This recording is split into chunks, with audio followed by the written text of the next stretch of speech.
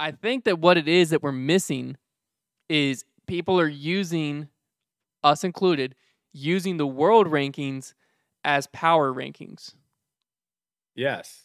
There's not are a not a good disc like- golf power ranking. That's what I want. I want a power ranking. Screw world rankings. World are- rankings suck. I want a power ranking. That's guys what I want. Yeah, you guys are you guys are treating it more like how the UFC does ra- uh, rankings of where it's like the number 12 guy fights the number 4 guy and beats him and then jumps up like 6 spots. No, I don't want it to be like that drastic, but I want I don't want it to be like, like- you did good at so, like, Worlds where's- 11 months ago and so now you're still going to be in the top 20 for no reason. Like that's that doesn't make any sense to me. So that's where I want power rankings. That's what I want. I don't want world rankings. I think world rankings are cool and I think that they should So how exist far back is how far back is too far back? For what? Power or world rankings?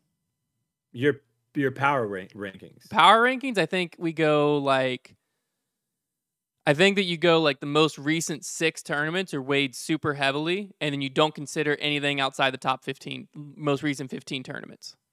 So would you have been fine with Luke Humphries being like number 2 player in the world uh, in like week 3? In the power rankings, yeah, yeah, I think that's where we need a separate. We need a separation because he would have never been world number two, No. but No.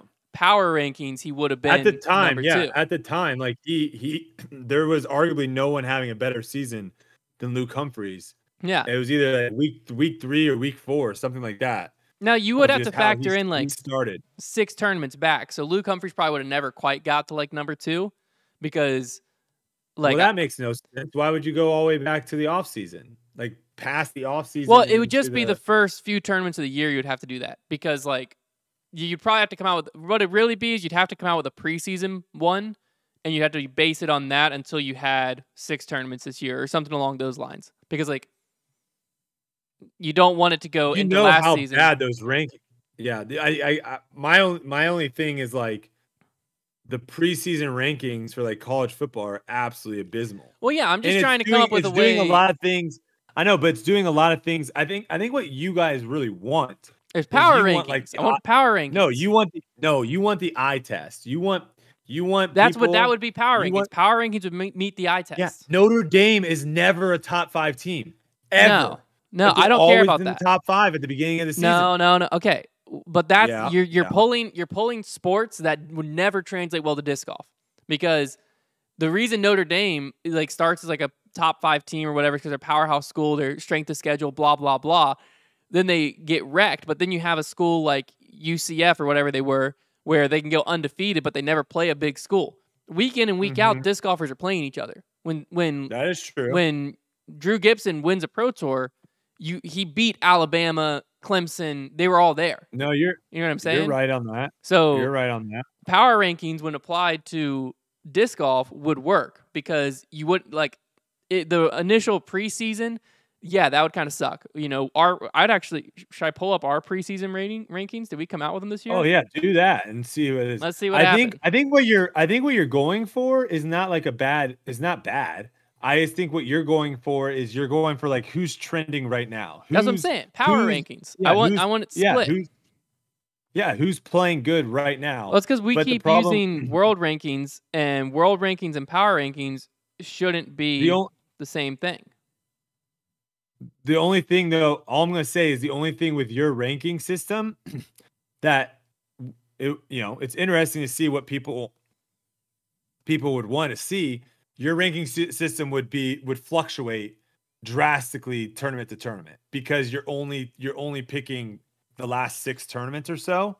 So Yeah. you could have someone like like a um I'm trying to think who's like done well the last couple tournaments. Well, you would still factor in their like past, you know, the eleven or twelve tournaments past that. eh, They would just be weighed like half Why? to get it Why? accurate. Well, so you can't have a It's almost it's almost pointless though. no, because it's the same thing of when it's in weighed that little. When it's weighed that little, someone coming, you know, someone that's in fiftieth, that's in fiftieth, and then rattles off a first, a fifth, a tenth. Like at the end of that stretch, they're going to gonna be able to sneak in the top twenty, which they should. It might be in the top ten. No. I'd have to do, I'd have to set up the math on how to weigh it, but I'm saying like if we go back to basketball like you you were using earlier, if the Mhm. number uh, an unranked team beats the number one team, and like the Yeah. unranked team is kind of on the bubble, they might sneak into like twenty third, and the number Mhm. one team might drop to like well, it 10th. depends on where. There is no technically unranked team. Every team is ranked. They're Yeah, just- but I'm saying the they're not top top twenty five. You, so like the If they're not in thirtieth, the the, top 25, they're considered unranked. the 35th team might hop into like the top 25 and the first place team might drop down to like 12th. But then if the next weekend and like if you use that for disc golf, the next weekend the 34th ranked team that's now 23rd loses and goes in 50th, they're just going to go back down. And it's going to be like trending Yeah. story for a week and then they're they're gone. And if this guy that dropped down to like 8th is now wins again, he can pop back up to 3rd or 4th or whatever. But I just th- I think that's what we want in our heads, but we don't have that yet, and so we have to use world rankings as power rankings.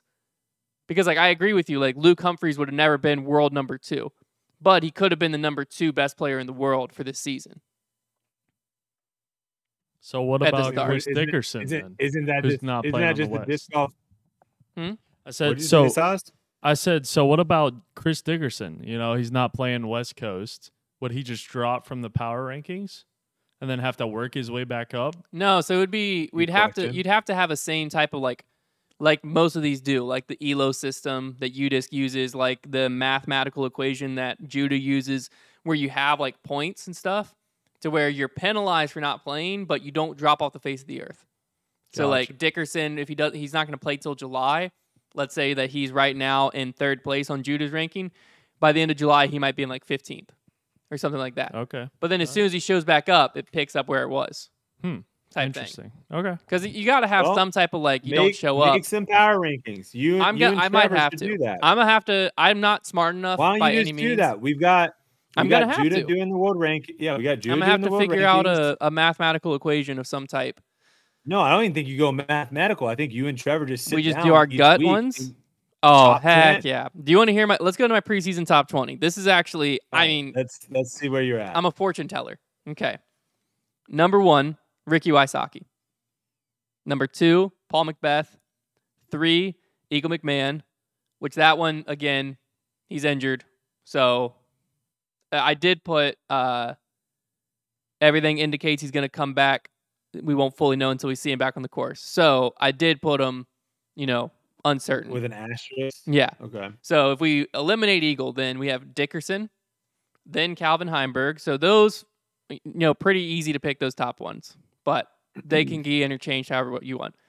Number six, he's definitely let me down. Kyle Klein, put him in there. He, I wouldn't put him that in that range right now. I don't think he's had that bad of a season though. But I wouldn't put him that high. I will say he's seventh in Judah's world ranking. So if we're going straight to Judah's, I'm like almost on Well, the yeah, money he, right now. He won an event last year and got second at a major I'm almost on the money. when there was only two majors. Well, Adam Hammes, uh, I put in seventh. I again think he'd be outside the top ten currently, but That's a bit high. yeah, on on Judah's Hammes is his ninth. So so far so good. Drew Gibson in eighth. I would agree with that. I think he's still around there. Kevin Jones Mhm. in ninth. I don't know if I would agree with that, but I think he'd be close to there. He's had some pretty good recent ones. Matteo in tenth. I think you could. Sne- I think you could make an argument for Matteo to be a top ten player. Väinö Mäkelä, I put in eleventh. I don't really know what he's doing this year. I think that that's way, way, way, way, way too high. He just had a third place finish at DDO. Never mind. Boom. I'm goaded. This is incredible. Where is he on Judah's list? Um, his list might be not the greatest for Europeans because he doesn't have last year. He doesn't have him. So Vina's Yeah. not even ranked on Judah's list. Yeah. Uh, number 12, I have Nate Sexton.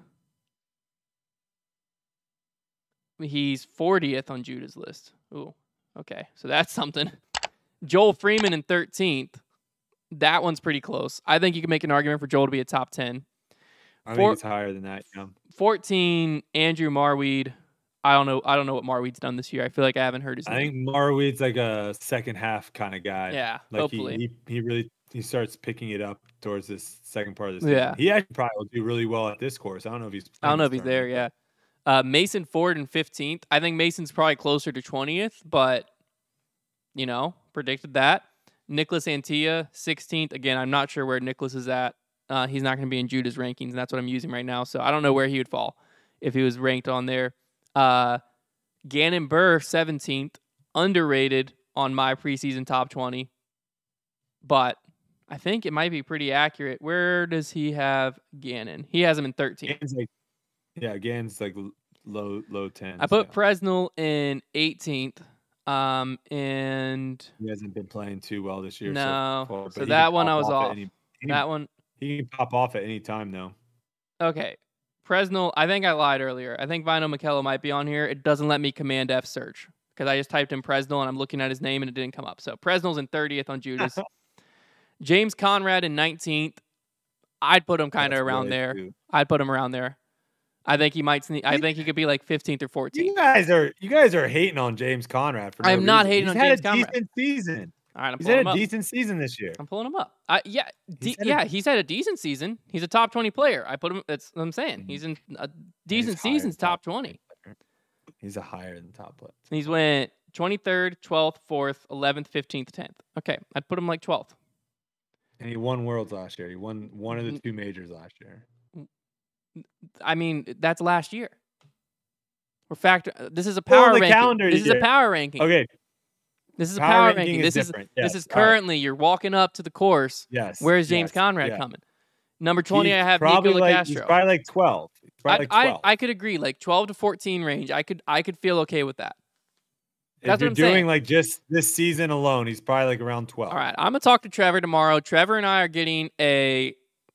We we joked about it on the podcast. We called it the. I don't even remember. I made up an acronym for How much different is yours going to be than the tour the tour points? How much different is that? It'll be. It won't. It shouldn't be too different. Doing It shouldn't be different at the end, but right now it kind of will be because again we're about to not see Chris Dickerson for until July. oh, so you're basically okay, yeah. or like yeah, players okay. like until there's enough tournaments that the points all like Mhm. start getting dropped out and stuff then the pro tour rankings like can't be accurate quite yet because players aren't Yeah, picking and choosing can- what they're playing Yeah, you can you can early season. Some people can definitely boost themselves up in tour points by playing every event, and other players don't. And then when you start having players, when you start having those some of those tournaments drop off because you can only count so many, that's when I think you start seeing some changes. So yeah, that makes that makes sense then. So yours yours really ultimately should almost in line. Well, no, not really, because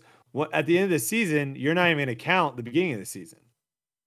no no what you Yeah, did what you so, did like, at Vegas James- won't matter James- Yeah, James Conrad could be a top five player at the end of the season yeah if he just plays well towards the end. Because Yeah. it's like, who cares what he did at the that's beginning? basically i'm gonna just look really heavily at the last six maybe we'll call it like the trending top 25 because i think if oh, we you're just going to do 25. yeah well you gotta do you were 25 top 10. I mean, I you were could do do top, top 10, 10. but I mean, the top 10, the top 10 a lot of times going to be agreeable. The top 25, like if, if someone's missing them from the top 10, you can be like, okay, well, he's probably like 11th or 12th. Someone's missing from the top 25, then I mean, there's going to be fist They're getting thrown. slided. Yeah, because then then you'll start hearing, you know, that that's when people really start coming after Trevor and I. Is if we slight someone from the top 25 that they think's a top 10 player. That's where things get electric. Yeah. That's when it gets fun. That's what we did on the preseason top 20. There was one player, I forget who it was. It might have been last year's preseason top 20 I did. I just forgot they existed, to be completely honest. Like it didn't even cross my mind this player was a person when I was just typing it out.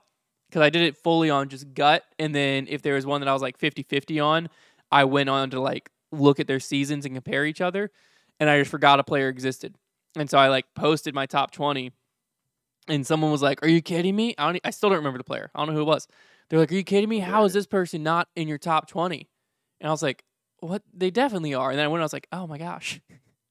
That's a top 10 player that I just forgot, or top 15. So that's where that things get really fun. Because then I just made up some fake excuse as to why I didn't put them in there. I was like, I don't think they're going to do anything this year, or something like that, which was which was very fun. So I'll I'll talk to Trevor. We'll get like a trending top twenty five, or just we'll just call it the Foundation Power Ranking or something. You can never have too many rankings, you know? Mm, No, you can't. No, No, I mean you can can't. have as many. you can you- ha- you can have way too many. No, you can- How? No, you you can have as many as you. You Yeah. can have as many as you Well, want, but some people- people. Just I could do one. I could do was one based say, on the people color just of aren't gonna care. Trevor said he was gonna start. He said it on uh, Grip Lock that he's gonna start a like Twitter account where he just like lists things, like lists people, just puts like ten disc golfers in a list. And he was originally gonna do just like super sarcastic ones, but I was like, no, Trevor, what you should do is you should actually rank like ten players, but don't tell anyone what the list is. So like each week you put out a new top ten, but you don't say top ten what. So it could be like top ten outfits from the past week but only Trevor knows that. So then people have to guess, like, well, what, what was this top 10? Or it could be ah. top 10 worst outfits in Trevor's opinions. Or I don't know why I'm sticking on outfits, but you, you know what I mean? I think that'd be funny. You just tweet it and get people riled up. top ten Vans. Yeah, there you go, Silas. Now you're talking Who, who's living the sweet life? of Zach and Cody. Yeah. Zach and Cody. You just put random top 10s and let people just kind of figure it out, fight it out in the comments. Who, That's- what, are, what are we cool. ranking? I like that. I can get behind that. Yeah, Why, just, why hasn't he done that yet? That's a great idea. I don't know. He's. I mean, today's only Tuesday. He said it yesterday. Hasn't he? It's been like Oh, 30, he said 36 yes? hours. Yeah, he said on yesterday's grip locked.